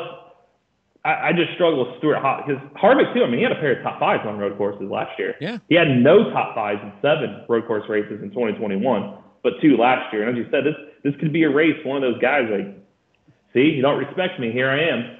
But if any of them was going to do it, that's why I went Briscoe's way. Just Yeah. Haas has just been terrible this year. That's why I also was scared to take Briscoe because we saw what he did last year, and he came into this year and he looked nothing like he did last year. It just seems even when they find the front, things go wrong. Like Almirola, they they they, they had two drivers lead last in the final stage and both wrecked while leading at Atlanta. So it's it just seems like they got to reverse the fortune somehow. And I don't know if it's reversed. It's all of a sudden you just get a win, um, but they need to do something. Well, you've been piling up the futures dollars on Briscoe when he was at forty to one. Oh yeah, and now he's sixty to one. I didn't even look at your futures this week. Did you add up any money on him I, this week? I did it because he was he went that far. I was like, I, I'm not going to waste another. Yeah, you don't have to do it now. Yeah, you got time. Yeah, exactly. Yeah. I'm like, I'll, I'll focus elsewhere. Unless he wins. Yeah, now if he wins, he can go way down. Yeah. But um, but you have yeah, enough money on him. I do. I was like, I could with this week with him being that far. I, I don't think I did. I don't think I went much further than forty to one. Just I'm just gonna keep hammering those guys, sprinkling in. As another hundred dollars would be like that, just in case you're gonna hole over here. So he's at sixty to one. I, I could rest assured. you might not have to put money on him the rest of the year at this point. Yeah, and you can I still make money. Him. Yeah, I mean, he he looked after he won in Phoenix. He went a long way last year without looking like anything, and then he makes the round of eight. And we've seen what he can he do did it. at Phoenix last yep. year. It, it, it, we saw how much track position played a game there. Um, it's just going to take a couple of races. Uh, something something lucky could be a road course that yep. gets the momentum going. So. Yeah. 25 to 1, he was the safer one. Yeah. Almirola's terrible at road courses. Yep. He's been terrible this season. Um, Preece has done absolutely nothing this year. He's By the way, CJS Preece? Yeah. I'm surprised and he hasn't dropped him yet. I was too, because his finishes this year are 36, 33rd, 23rd, 12th, and 28th. And then you got uh, uh, Almirola. Uh, I just had it. Uh, he hasn't had top 15 yet all season. And Briscoe, four of his finishes have been 20th or worse, so it's not like he's been much better. No. So it's hard to gauge with Preece if it, the car's on par with what it was with Custer. So it's like probably in the driver. And then you look at his teammates outside of Harvick, and it's like they're all back there together. So something's amiss, and that's where I struggle to think, well, they've been that far off. I just I'm not naive enough to think that all of a sudden Sunday they're they're going to win. Yeah, not Preece and Almirola, no. No, they need to really close the gap. So yeah, that's what's good about these odds. Really past probably 30 to 1. I know I took Raikkonen just because man, that'd be a fun story. You can eliminate most of those guys. It just, there's a reason they're not strong on road courses or some this season. So I just, I took Raikkonen just for the fun story if he would happen to win, and he's good on road courses, but I just, that's why I eliminated most of the Yeah, the only uh, drivers that we picked that were over uh, 30 to 1, you mentioned Raikkonen, and CJ took Gibbs and Johnson. He put those are his only two long shots. He put a couple bucks each on Gibbs and Johnson, and that was it. All his other picks were the top eight in yeah. odds. Strangely enough, he did not put money on Suarez though. That shocked me because uh, I'm I'm shocked he did go Gibbs and Johnson because Johnson he's won 83 Cup races. 82 of them were on ovals. He's got yeah. one, and he's been out of. Well, maybe he's thinking about the story that you're thinking about with Raikkonen. Yeah, I just don't. And Legacy's been down. Um, just it seems like they've been down this year. That I just I don't see this being Johnson. I think this is more Johnson wants to race and have fun.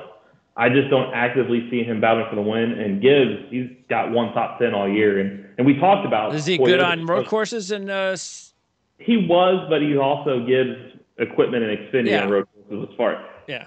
Toyota, it's just hard to know that Toyota. If Toyota looks like they did last year, he's going to be. There's no way he's going to be better. If Hamlin couldn't, that's true. That's true. No way a rookie's going to come in and do it. So um, that's why I didn't go either of those directions. He could have spent double down on those two and put money somewhere higher up on Suarez.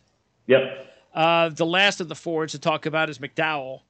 And uh, McDowell, uh, not surprised that you put money on him. Uh, so it's good one of us has money on him because he's a good road course driver. This is pretty much it's road courses and and sometimes it's drafting, and it's those are the two races that you go with McDowell.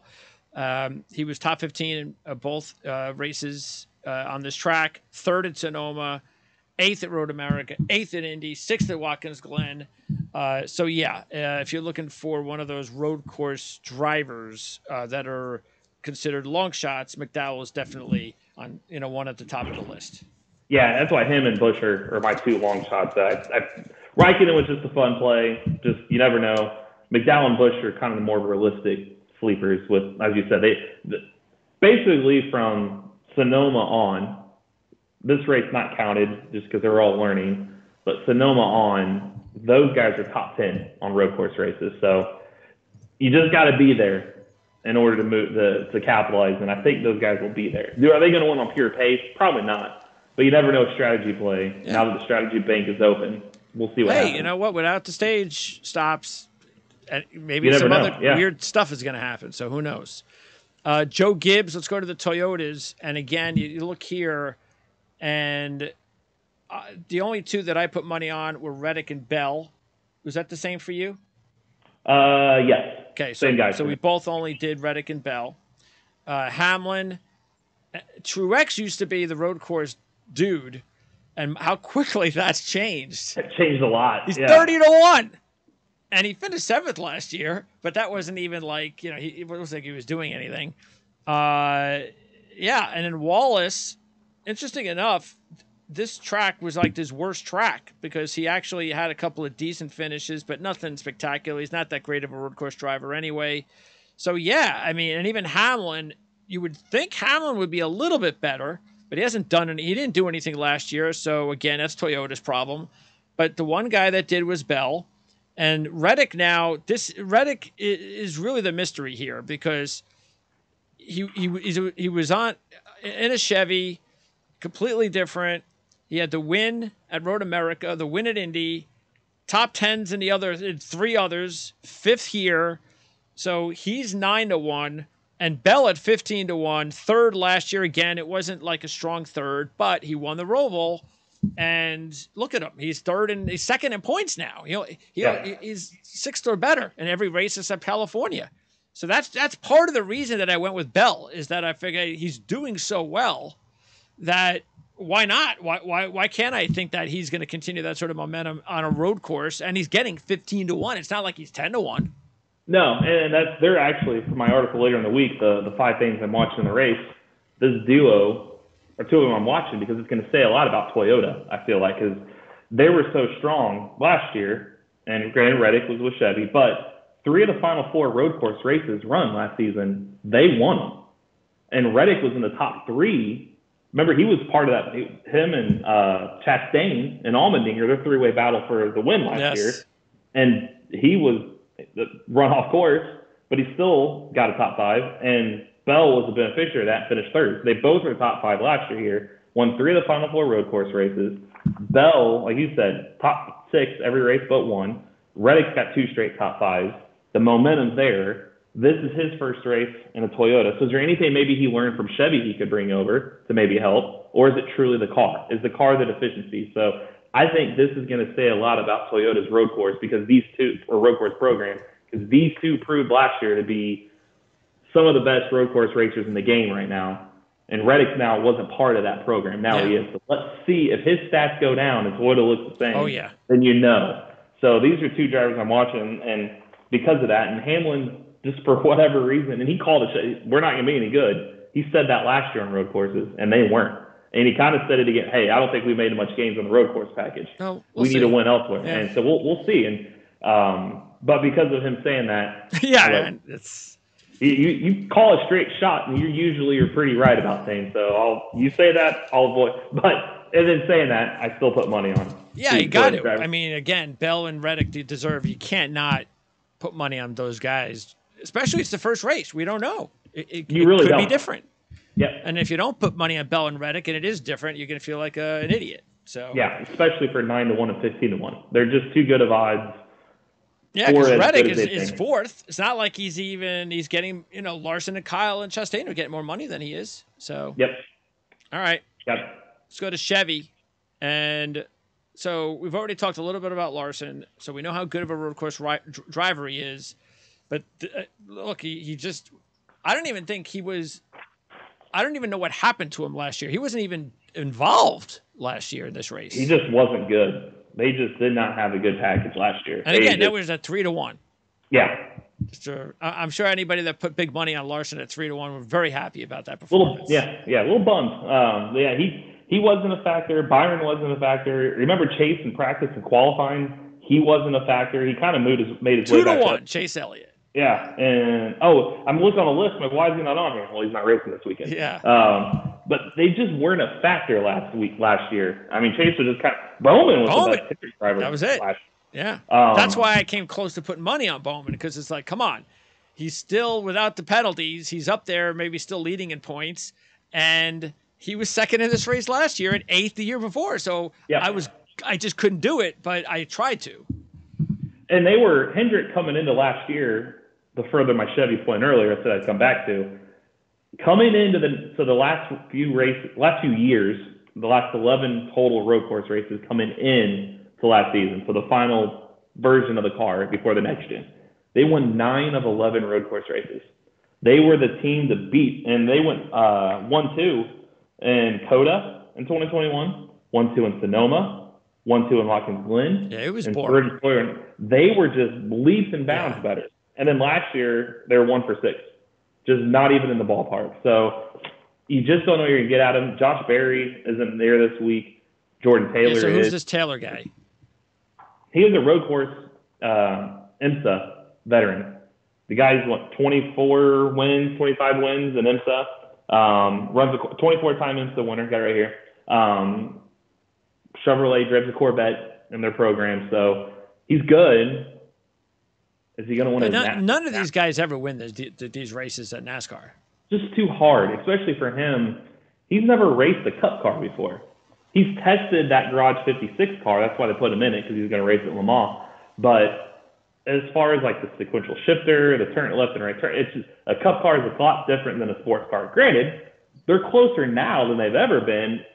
But of all these drivers we just mentioned, some favorites, do we really think his first NASCAR start Yeah. he's going to and, and beat them? Yeah, it's like 40 to 1 is really close to Harvick at 30 to 1. So Yeah. why would I take Taylor and not take Harvick? And exactly. So come It, on. it's and, and then with uh, obviously Chase being out, and then you got Byron. He's, he's not had a top five in any of the six course road course races last year. The best finish was ninth. Yeah, he's actually Byron's actually been at least eh, top fifteen. That's okay. I, I, think I'll take some. I'll take at. that position and move on. That's it. Yep. And I think that's what he'll do. I mean, he was 11th and 12th here, respectively, to two starts. Um, he just he's not a guy that's going to finish outside the top 20, but he's not a guy that's probably going to Yeah. finish the top five. No. I think, especially with the points penalty, let me just get out of here to top 15, top 20, and just let's move on to the next race. So if you already take the nine car out, you take the 24 car out. We talked about Larson.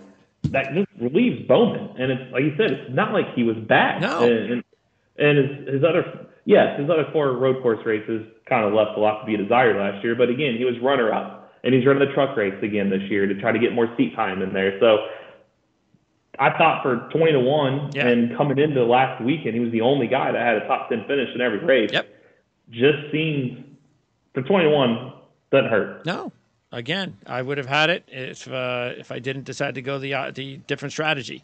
And then AJ uh, with colleague, I mean, we know Yeah. this is going to be very. Important this is AJ's one of six really good chances of getting to the playoffs.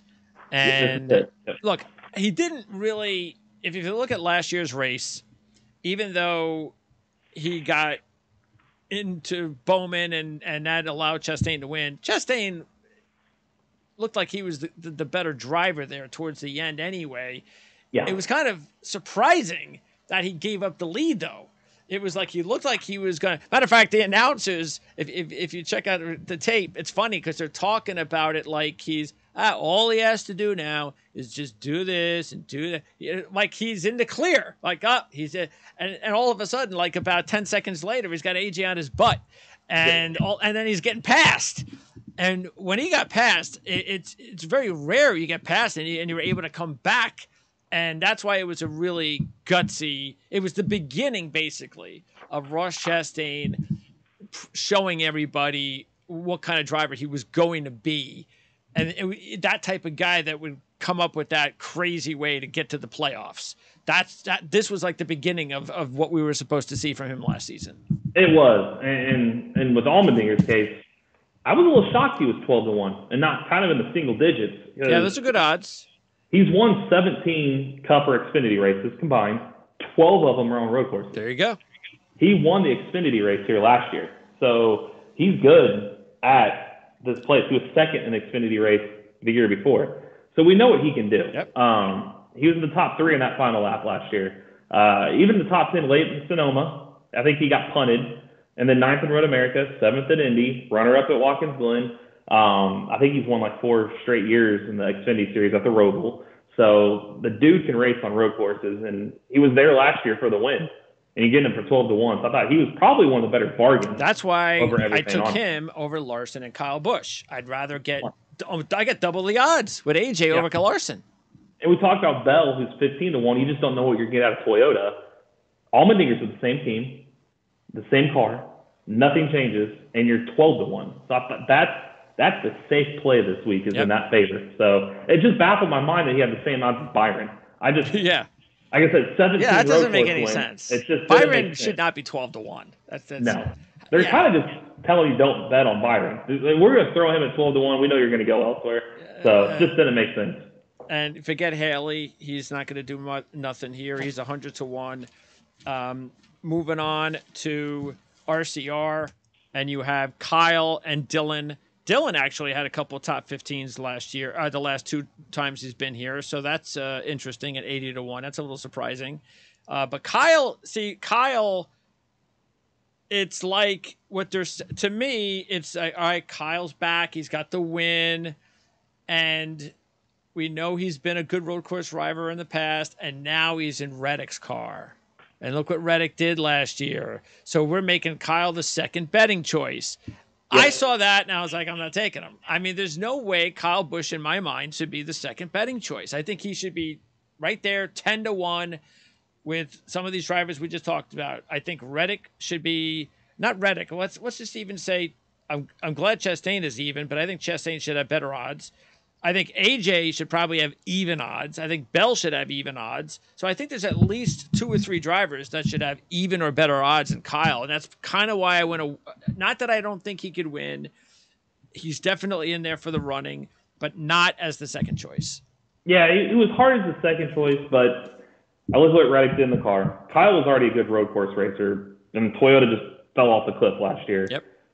Plus, you're putting him in what Reddick did. Um, the other factor, too, I like him and Dylan, and I think there's one more driver. But in the off season, to kind of get to know each other, work with each other, RCR put I think it was a Trans Am car. It was a, it was a car. It was a race down in COTA, this track, and I think it was the January range.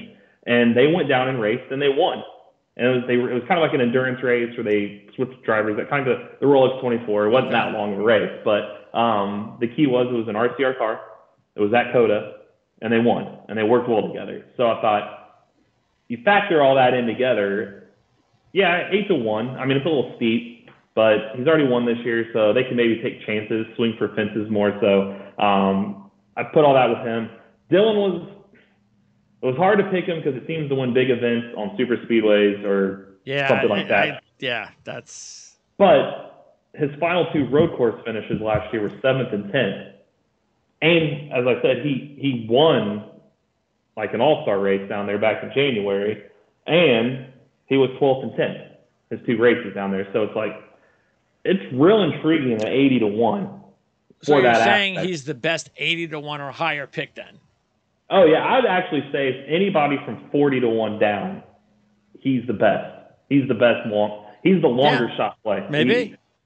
He- is he going to win though? I mean, he's only really won at Daytona and uh, the one race. Again, well, Texas. We're in Texas, but I just don't see it. But hey, eighty to one is worth a couple bucks his way. You see, the thing, my, my strategy with this race being different from yours was only because the, the, the main reason was was because it's the first race of the season. And what we're seeing is like what we saw last year. The odds makers are going, Elliott's two to one, Larson's three to one. Why? Because of past history. This is the Yeah. first road course race of 2022. They're doing the same thing with Kyle here. They're putting him at a certain level, uh, odds wise, because of what they've seen in the past. We don't know. Maybe Kyle will be the dominant car on Sunday. It's very possible. He's that capable. But we're guessing, and we're guessing with the odds being as low as they are. So that's why I kind of went more with the strategy of, hey, you know what? If I lose, I'm going to, it's only one race, one road course race. Now I'll get a lot more information that'll carry me through to the other five road course races. That Sure. even if I lose the first one, I'd rather lose the first one just kind of going with a little bit more of the proven and better odds drivers, which is what I did. That's all. It, it is. You shouldn't bet on a guess, and that is kind of what you're doing. If you go the RCR route, is you're you're guessing. You know, you think what they could do, but at the end of the day, it but would at be a least you did it where you had you decided to do it for your entire platform of bets this week that you're just going with the strategy of even if i win i'm only going to make a couple of bucks but i'm not going to i'm trying not to lose like you said Yeah. i just got to Yeah, get a I'm win Playing, yep, I'm playing not to lose, but that's why, or, or else, yeah, you would be guessing with these so guys. it- so. we're, we're at different strategies i'm taking more of a chance uh and if I get a win, it's a it's a big bonus because hopefully I'll, I'll hey man, not only do I win, but I have a couple hundred bucks. And Yeah. whereas if you win, it's going to be oh yeah, you know what, I didn't go with Kyle or I didn't go with Bowman or I, you know, it, but uh, uh, I'm a hundred bucks behind you now uh, because Yeah. So Yep. All right, and then Chastain and Suarez, these are can't miss guys. So Oh yeah. Chastain eight to one, Suarez fifteen to one. We know how good they're doing this year, and this is a no brainer. The fact that they're doing so good. We talked about Chastain and how well he was, his gutsy win in this race last year. So he he he he, he wins that race, leading thirty one of sixty nine laps, fourth the year before, fourth at Road America last year too. Suarez was the stage one winner last year went with that strategy because of that that kind of put him behind because i'm not sure what happened to his car early in stage two something happened He got spun. He got spun on the He did. restart. okay so he was Yep. done after that but he won sonoma fifth at road america fifth at watkins glen and you're getting double the odds out than chastain so there yeah you can do a lot worse than going oh i'm just taking those two guys Yeah, you could take Trackhouse or the field. I mean, that's how good they they won. We talked about Bell and Reddick winning three of the final four road course races. These guys won the first two. They they came out of gates winning. And as you said, that strategy play where it hurt Suarez last year, who qualified on the front row. He was second. That's why he led every lap of that first stage. But the strategy, because of the caution, flipped him to the back, Yep. and then he got spun while back there. See? So this year, doesn't have to worry about you it don't have that. Yeah. So, and you get them for 15 to 1. It's now it's Trackhouse, Trackhouse started off strong. They kind of regressed a little bit the last few weeks. Can they get it back? This is a big weekend for them to get it back. Yep. So I, I've got my eye on them. And, and like I said, 8 to 1 and 15 to 1, no brainer for both of those this week. uh stenhouse forget him uh, yeah, not even worth, not even worth the conversation on No, him this week. uh, legacy. You do have Jones. Now Jones has been okay. He's fifty to one. He might be the other guy that if you were thinking Dylan, then maybe Jones would be the other guy. Yeah, I mean, ninth last year, 10th at Watkins Glen, 11th on the Roval, um, coming off of a top 10 last week. They're finally starting to figure it out. So he's he wouldn't be a bad one at 50 to 1. Um, he's better than Johnson on this line. I, I'm shocked. It's almost insulting to him they have him with Jimmie Johnson at 50 to 1. They, they're similar odds. So Yeah. um, I don't get that. But for 50 to 1, if you're going to go more longer shots, this is a guy that could happen for it.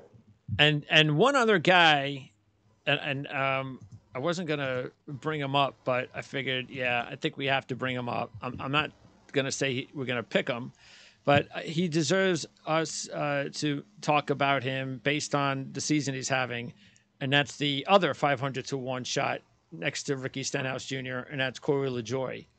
So um, we said, hey, you know what? If you, based on how good of a start he, he got off to, he has to have a good finish at Atlanta. That's a must, and that's exactly what he did. He did, Top yep. five. He's 14th in points now. Look, he would have been a little bit further back with all the penalties, but still, he's 14th in points now. He's not gonna. He's not a good road course driver, but I, I don't know. I mean, do you think Corey LaJoie can keep this up all season? I do. I now there's going to be tracks he's going to do better at than others. Like this one, 20th and 36th. There's two finishes. No chance. But yeah, top 20s, that's what he needs. pretty good if he can do that. He he's in a position right now that hey, we're five weeks into the season. He's still on the positive side of the point. So it's he almost won Atlanta again, and we know what he can do. So it seems like he's even amplified it a little more elsewhere. It's not just Atlanta. He's got top 20s, I, I believe, uh, everywhere but once. I think this season. I got it right here. Um, yeah, Phoenix was the everywhere but Phoenix. Yeah. So yeah, definitely better. Um, one driver we did forget with Trackhouse is Kimi Räikkönen. Oh, Uh, yeah, that's right. Your my pick. That's right. Yeah, fifty to one. Uh, again, the Trackhouse angle. Uh, fun story. His last Formula One win came here. Oh, Was at this place. So the last time he's won was there. And uh, even the quotes that they were saying this week um, about why they chose this race for him. Um, he's raced plenty of times there in F1. Um, he led 39 laps that day that he won. Um, but even him saying, here's, I had a fantastic time in NASCAR. There was a lot to learn in a very short amount of time. This is regarding when he raced at Watkins Glen last year. But everyone's very helpful. The competition was a big challenge. This time, I get to race on a track I'm familiar with, so there won't be as steep of a learning curve. I want to have fun, but also know I can do well there. In Watkins Glen, he raced his way up to the top 10 and then he got spun in that bus stop, I think, in the second stage. So he was already there, and now he's coming to a track. He's never seen Watkins Glen before. He's he knows every angle of this track, and he did it in an F1 car, which would be a lot faster than a Cup car. So you got to think he's gonna. He's already got grasped this car before. We saw what Trackhouse did on road courses last Well, year, and you thing. get Yeah, that's that's the 50 to one. Yes. yeah. So, granted, is he going to win? it could be a challenge, but you never know. No, it's Because not. I, I actually think it'd be stranger to see. It'll be a lot stranger, I should say, to see some of these regular Cup drivers win, like Stenhouse or Yeah. guys like that. That would be strange, but I don't would think it would be. be like way out of whack to see Raikkonen win based on. I think that's the key is that he's he's going in there with this Chastain Suarez Trackhouse team. Yep. That's that's Hey. that's the key. Yeah. They've proven they could be fast there, um, and you're getting a guy that is fast. And and it'd be one thing if he was at Watkins Glen last year and he was just terrible, Sure. but he was really Yeah, good. sure. And now he's been so yeah. I, I, I, mean, think why is he? Why one. are you getting fifty to one with with, with Raikkonen, and you're getting forty to one with Taylor? Yeah, doesn't make sense to me. Based on their history, and again, I know Chevy, Chevy. That's what I'm thinking. That's what they're thinking is because Chevy dominated both of these races, the first and the second. So, and Chevy is Chevy, but still, it's it sure sounds to me like again, Trackhouse may not be Hendrick, but at this particular racetrack, it and his history compared to Taylor's history, and I'm not saying Taylor doesn't have a good history, but it sounds to me like Raikkonen is probably a little bit more. He's safer play, Yeah, and he- yeah. and Trackhouse outscored, outwon. They beat Hendrick twice last year, two to one. Hendrick only won one road course; they won two. And they're go. probably taking Taylor Chevrolet driver, and then uh, uh, he's got Chase Elliott's car. But Chase Elliott wasn't Chase Elliott, the That's old yes, stuff in that that's true too. last Yes, um, Raikkonen proved very well in that car last year and the one opportunity, and now he's back with a team that won twice. So I just feel like it's it's a better play for him. They should be even together odds. At the worst. Yeah. All right. Um, so who's your top three? Um, I'm gonna say Chastain, um, Allmendinger, and I'm gonna go Reddick. I still think he's Over Kyle? Yeah. Yep. Really? You sure about that? I just, I just like because of what Bell, Bell was pretty strong, okay. and he wasn't great, always known as a road course racer. Where Reddick is, he's, he was in front last year, so Okay. Chastain, Reddick, and AJ. yep, with a long shot. I'm just gonna go Buescher as a safe long shot from what I talked about earlier. Yeah, that's uh, that's a good one. Next week, well, we're kind of staying with this short track deal for a while. Richmond, then we get the disaster, which is Bristol dirt, and then Martinsville before we go Yep. back to Talladega. So, not a lot of big tracks, but that's okay. Uh, California, the West Coast crap races are behind us. Atlanta was a nice start, and uh, we get the really good road course followed by Richmond, Brist- uh, Richmond, and uh, yeah, I just nothing's changing with that Bristol race Nope, because they changed. dirt. They changed. The first race was day or night, day, and they Day. changed it to night. which is better better for dirt. So So we're doing night again. we'll do night again, Easter night. So And oh, Sunday night. the night. Oh. Yep. Okay. Well, But we'll yeah, that's not a weird. That's to me, that's like uh, one of those uh, one of those PGA Tour stops that I don't like. That I'm like, uh, do, do I really have to talk about this? Yeah. I don't. I just please, they got to get. I mean, and the thing is, is there was a lot of drivers that weren't very happy. And No, they're not they apparently they don't give a crap apparently, and I'm hoping that maybe one more just emphatic. This stinks. I'm sick of this. We'll just all right. We'll we'll we'll uh, because as we agreed, if you're gonna do this, you do it somewhere else. Yeah.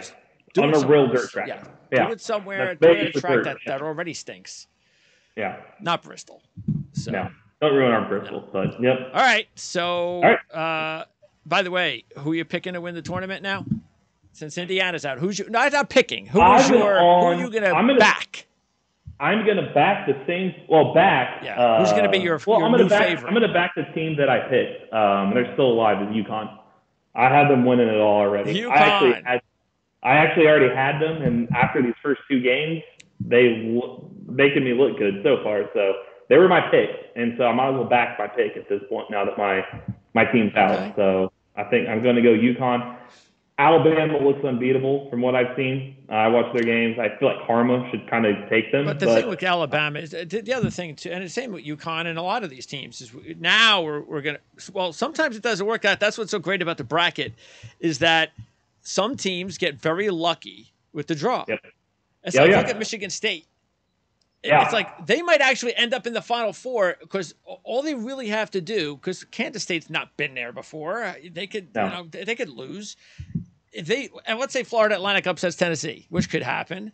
could happen. Maybe yeah. Michigan State's in the Final Four with the team that basically was just eh all season long. I actually feel, uh, and I said I watched and covered a lot. Of, I mean, that was my background was basketball, and so I watch watch this religiously, like I do racing. And um, I feel now with this Sweet 16 setup, I feel like Michigan State is going to be the Final Four team out of that bracket. I mean, it's Izzo. He knows what he's doing. At this point, coaching and adjustments and experience come into play. Yep. And you look at that bracket he's got right there. Florida Atlantic, Tennessee looked a lot better than I thought they would with losing their point guard. Um, I But didn't by the way, they should Duke. never have been an underdog to Duke. No, They were better than I- Duke all year. Yeah, and then I thought maybe even lose. I thought the game would be closer, but Oh yeah, um, and that was surprising. Yes. Florida Atlantic's good. I could see Florida Atlantic beating them. Sure. Um, but I don't see Florida Atlantic beating Michigan State. I can see Michigan State beating Kansas State because of experience factor. That's a new coach. Isn't that second, first or second year of their coach? I think Michigan or for Kansas State. Yeah, he's Um, new. So I could just see Izzo taking advantage of that. And then I, it just seems like it's on brand for Izzo to go to the Final Four with a team like that. And then the, the bracket above them with Alabama and San Diego State plays a good They do. defense. I think that I was, I think they'll give Alabama fits because they like to run, and San Diego State's going to slow it down. But I just don't think they've got the stop. Well, let's see. We haven't. We, I want to see when Alabama when they start playing a, a really good team. Then we'll because Yeah. I don't no. I mean, my pick was Texas when the tournament began. Um, I do think Texas. They were going to. They're at this point. I think they're coming out of that region. I think it'll be them in Houston. I think Texas comes out. I think UConn, UCLA, even that big man with his ankle last uh, last week. Um, I think Gonzaga. I, originally, before he got hurt, I thought UCLA would go to the Elite Eight and lose to UConn. Now I think Gonzaga, just because of the injuries of UCLA, I think cause they had two players already out, so I think the injuries caught up to them. So I can see Gonzaga and UCLA, but that that Sanogo dude at UConn's a big man. I that dude is. I just don't know if Timme can guard him for for Gonzaga. So I got UC, UConn, uh, Texas, Alabama, Michigan State Final Four, and I just think talent wise, Alabama's Uh, to if Alabama overpower gets to play Michigan State in the Final Four, then basically their their road to the Final Four was nothing. No, and that's where I feel like UConn's been battle tested coming That through. would be different. Yeah. Yeah, and I I just felt like Arkansas, they were a fun team, but I feel like they celebrated. But they're also that. a very good, very well coached team. They are. Musselman's a really good coach. He is. I feel, unfortunately for them, well, it's their fault. They celebrated that Kansas win like it was a national championship, and sometimes that comes back. It's like, dude had his shirt off in the stands. I'm like, you Yeah, just, I know. you act like you've been here Yeah, before. know, right? You you got a tough draw next and of UConn, and I that will be a good game though. Arkansas UConn's gonna Should be a be. bloodbath. Um, I just feel like you you look at that stats if you which I my pick coming through that St. Mary's was no slouch. Um, St. Mary's and then Arkansas and then the winner of Gonzaga UConn and then Texas or Houston probably. And if they come through that in the championship and you look at what Alabama came through, Yeah, absolutely. more battle test. So I, I think plus you know you get to these big football stadiums playing Oh, it's a different animal. Yeah. It is, and I just don't know how well Alabama can be set Yeah. up for that. So there's my long uh, analytical answer. If I'm going, Well, hey, man, it was Uh, the uh, end of the show, not the beginning. Exactly. So everybody exactly. can turn off. You know, the NASCAR fans, could, they're they're gone Yep. already. So They are. They're they're gone, or they're like, hey, maybe. So if you want to wager on some of those we just gave you, that, There you that's- go. that is kind yeah, Texas is Uh, still nine to one to win the yeah. championship. What's UConn? I didn't look. Well, they've got to be Uh, probably fifteen, I would think at least. probably. Texas is nine. They're probably 15. Well, so. Texas is yeah, Texas is nine. UCLA surprisingly is eight. I think they're ahead. Alabama, Oh, I think, is the favorite at like five. They were five last Yeah, week. so they haven't Um, changed. So yeah, I mean UConn being a four seed, and you got to think with Gonzaga as a three, and if UConn or if uh, uh, UCLA was that, then yeah, they're probably 12 to 15 to one. Yeah. Oh, Houston is the second choice. Yeah, it's Houston Alabama, probably, yeah. Houston, UCLA, Texas, and then uh, the rest. But yeah, so maybe we'll get a Texas uh, UConn uh, f- uh, semifinal matchup, and one of our That'd teams will be in the final. There we go. I've already put like you did with UConn. I did with Texas, and I also did the matchup because Yeah. I, I got thirty to one Texas over Alabama and thirty to one Alabama over Texas. So just in go. case, I put five bucks each, just in case. Plus, I put my money Yeah, on Texas. there you go. You can win it You could do the same strategy. You could do UConn, Could- Alabama. UConn, and then one of us might come out That's and got win. to There be you go. I might thirty to might. one.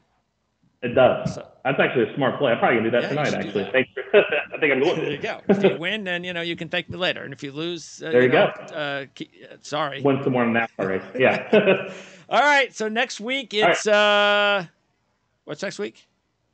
uh, Richmond. All right. Richmond's okay, or no? How yeah, was it last year? Tire fall off and um, I liked it. It wasn't you're on top of each other race. It was a better short track because it was day race. Tires fell off. It used to be boring to me, It did. It but was, it's it's better.